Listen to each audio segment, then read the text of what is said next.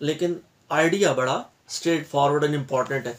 इस आइडिया को ज़ाहिर है सर अब ज़ाहिर थोड़ा मैथमेटिक्स जैसे मैंने आगाज़ में कहा था कि भले हमें हिसाब पसंद नहीं है रियाजी वो मजमून है जिसको हमने जब भी शुरू किया तो हमारी तबीयत पे बोझ आया और हमें नींद आने लग गई। लेकिन आज हम वक्त आन आ, पहुँचा कि हम इसकी आ, इसकी बात करें तो ज़ाहिर सर जो ये रिटर्न ऑन इन्वेस्टमेंट है इसे परसेंटेज की फॉर्म में शेयर किया जाता है। तो आपकी नेट इनकम क्या हुई? इसको साहब आसान अल्फाज में आप तकसीम करेंगे इन्वेस्टेड कैपिटल से तो क्या होगा? ये आर ओ आई सी आ जाएगा।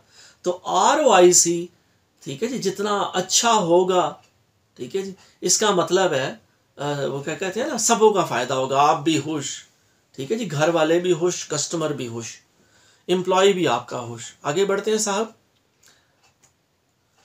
ओके जी इसी ज़िमन में आर ओ आई सी के ज़िमन में जी, दो इंपॉर्टेंट मेजर्स हैं, दो इंपॉर्टेंट पैरामीटर हैं, जो कि हमारी फाइनेंशियल हेल्थ की तरफ़ इशारा करते हैं। उसमें एक है जी प्रॉफिट मार्जिन ठीक है जी, फिर दोबारा जारगन या टर्मिनोलॉजी की बात हो रही है तो ज़ाहिर है वो आप क्या कहिए, उस किसी भी टॉपिक की बात करें, हमने बिज़नेस सेंस डेवलप करनी है तो ज़रूर है कि हम इन चीज़ों का ज़िक्र फिर किया जाए। तो प्रॉफिट मार्जिन साहब अपना बढ़ाना है। तो वो ज़रा क्या है कि टोटल जो आपके अखराज होंगे, आप उन्हें देखेंगे। टोटल जो आमदन होगी, उसको देखेंगे, ठीक है जी? टोटल आमदन में से आप अखराज निकालेंगे और उससे फिर उसी आमदन से तकसीम करेंगे तो आपको पता लगेगा कि कितना प्रॉफिट हुआ। और दूसरा जो इम्पोर्टेंट एलिमेंट है, वो है वेलोसिटी ठीक है जी? कितनी तेज़ी से, ज़ाहिर है वेलोसिटी क्या होती है जी? स्पीड होती है, कितनी स्पीड से, कितनी वेलोसिटी से जो है चीज़ें आ जा रही हैं। तो ये बड़ा इंपॉर्टेंट दोनों फैक्टर्स हैं जी, बड़े बुनियादी बातें हैं। तो साहब, बात फिर क्या हो रही है? किबला, हजूर वाला, कि जब आपकी ऑर्गेनाइजेशन का प्रॉफिट मार्जिन भी ज़्यादा होगा और वेलोसिटी भी ज़्यादा होएगी तो उतनी ज़्यादा ज़ाहिर है वो आपकी रिटर्न ऑन इन्वेस्टमेंट है। तो यहाँ ज़ाहिर है, एक चीज़ की तरफ़ इशारा किया जा रहा है कि कई जो बिज़नेस लीडर्स हैं, उनका सारा फोकस प्रॉफिट मार्जिन पे होता है। तो ज़रूर है, ये एक आइडिया है कि आप कहें कि आज एक ही मेरी दुकान पे बंदा आएगा तो मैं उससे बहुत सारे पैसे ले लूँगा। ले साहब, बात हो रही थी जो जब हमारा ज़ाहिर है, क्या कहिए, नशरियाती रबता मुनकता हुआ तो बात क्या हो रही थी साहब? कि रिटर्न ऑन इन्वेस्टमेंट जी, उसके दो एलिमेंट्स हैं, एक है मार्जिन और वेलोसिटी तो मार्जिन की हम बात कर रहे थे कि अगर हम एक ज़िंदगी से, अपनी रोज़मर्रा ज़िंदगी से डेली लाइफ से एनोलॉजी ड्रॉ करें तो मार्जिन की सब मिसाल ये ली जा सकती है कि मेरे पास एक आएगा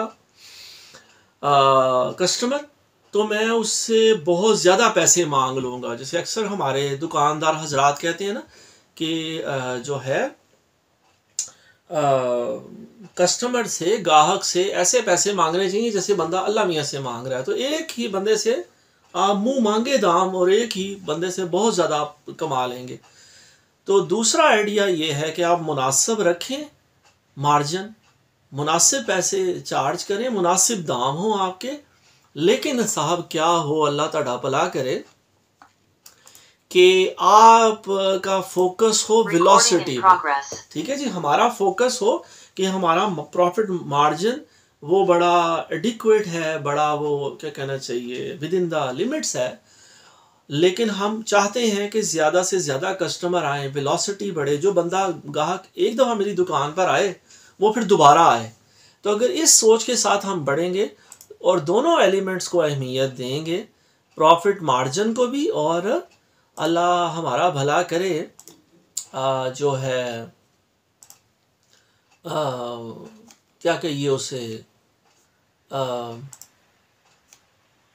वेलोसिटी को भी। तो फिर ज़ाहिर है चीज़ें आगे बढ़ेंगी। ले सर ये ज़ाहिर है मुबादियात की फंडामेंटल्स की बातें हो रही हैं जो कि हम एक किस्म का रिफ़्रेशर कर रहे हैं हम दोबारा देख रहे हैं इन चीज़ों को। अच्छा जी, आगे बढ़ते हैं जी, इसी ज़िमन में कि अगर हमारी वेलोसिटी ज़्यादा हो हमारे कंपेटिटर की नस्बत तो ये भी एक कामयाबी का बेंचमार्क है। ठीक है साहब प्रॉफिट का मार्जिन भी, जितना ज़्यादा मार्जिन होगा, उतने ज़्यादा पैसे बनेंगे रेवेन्यू जनरेट होगा, लेकिन साथ ही साथ एक्सपर्ट्स इस तरफ़ इशारा कर रहे हैं साहब कि अगर हम हम वेलोसिटी पे भी काम करें कि और हमारी जो वेलोसिटी है, वो हमारे कंपेटिटर से ज़्यादा हो तो ज़ाहिर है यूँ भी हमारा बिज़नेस वो ग्रो करेगा। ले जी। Focusing on profit margin is good experts कह रहे हैं जी but insufficient the business people the ones who will be promoted focus on velocity as well तो सर एक्सपर्ट्स बता रहे हैं। मुझे भी चाहिए, आपको भी चाहिए इस आइडिया की तरफ़ हम तवज्जो करें कि प्रॉफिट मार्जिन एक अच्छा एलिमेंट है, बड़ा इंपॉर्टेंट एलिमेंट है। लेकिन अगर हम सिर्फ़ इसी में फंसे रहेंगे तो ज़ाहिर है ये नाकाफ़ी होगा। अगर आप ग्रो करना चाहते हैं, अपने बिज़नेस को कामयाब बनाना चाहते हैं तो वो जो आइडिया जिसे आजकल कहा जाता है, तमाम मोटिवेशनल स्पीकर्स और जो एक्सपर्ट्स हैं, बात करते हैं कि आप वेलोसिटी पे भी बात करें। आप वेलोसिटी को भी कंसिडर करें। आप पहले सर्विस प्रोवाइड करें, उसके बाद आप जो है, फिर वो ज़ाहिर है, अपने प्रॉफिट मार्जिन को भी जहन में रखें। तो वेलोसिटी को ज़ाहिर है, अगर आप इजाज़त दें तो मैं कहूँगा कि अगर इसे प्रायोरिटाइज करना पड़े तो वेलोसिटी हमारा क्या होना चाहिए?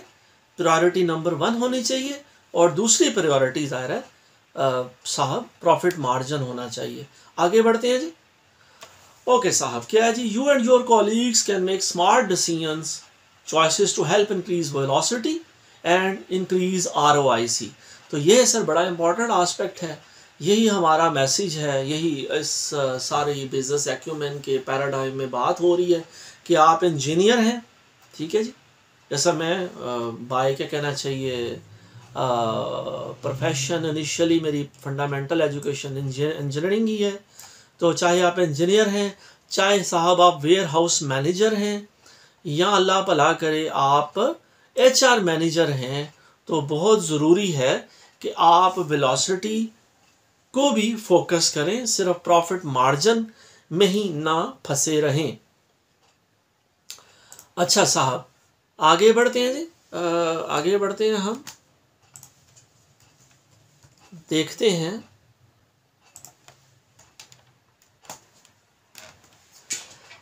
आगे बढ़ते हैं साहब, कि नेक्स्ट आइडिया क्या है? उम्मीद है कि जी अभी तक जो बातें हो रही हैं, वो हम रिलेट कर रहे हैं, वो हम समझ रहे हैं और इन इन बातों को देखने से, समझने से हमें अपने बिजनेसेस को, अपनी ऑर्गेनाइजेशन को न सिर्फ़ समझने में, बल्कि फिर उस बिज़नेस में एक्सेल करने का भी इन ताला मौका मिलेगा। आगे बढ़ते हैं साहब। ड्राइव प्रॉफिटेबल ग्रोथ एक और इंपॉर्टेंट आस्पेक्ट है जी, कि हमें ग्रो करना है, हमें जो है प्रॉफिट जनरेट करने हैं। तो ज़ाहिर है यहाँ पर सर अब बात होगी कि हमें फाइनेंशियल रिपोर्ट्स को भी समझना है। ये ज़ाहिर है मैंने इंट्रोडक्शन के ज़िमन में भी ये बात की थी। हमें इनकम स्टेटमेंट को भी देखना है। जांचना है बैलेंस शीट को भी और कैश फ्लो को भी। और यहाँ जो इम्पोर्टेंट एक पैरामीटर बताया जा रहा है कि जो ग्रॉस प्रॉफिट है, ठीक है सर ये आपके बिज़नेस का, आपकी ऑर्गेनाइजेशन का क्या है? जब आपने कोई सर्विस डिलीवर की, कोई प्रोडक्ट बेची और उसके बेचने से आपको जो रेवेन्यू जनरेट हुआ तो ये सर बड़ा इम्पोर्टेंट आस्पेक्ट है ये भी। इसको हम मज़ीद एक्सप्लोर करते हैं। कि ये कैसे मुमकिन है जी?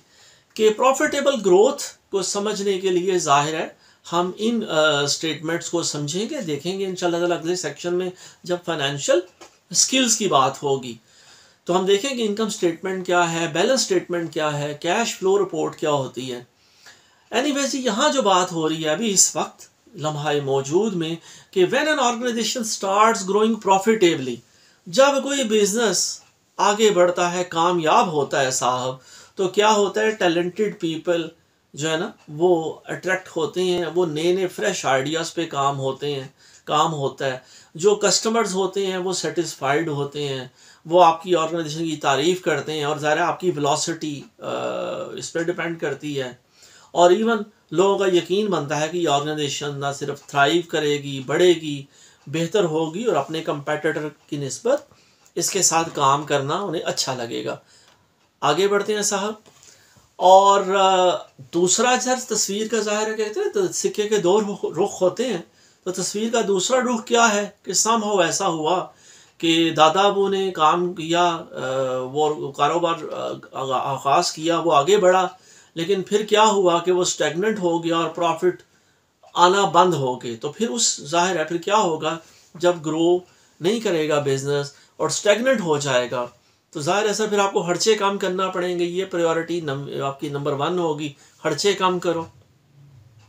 नए लोगों को रिटेन करना फ्रेश आइडियाज़ पे काम करना औखा हो जाएगा। ठीक है जी? नई प्रोडक्ट्स आप लॉन्च नहीं कर सकेंगे नई सर्विसेज़ की तो फिर क्या बात होगी? तो बहरहाल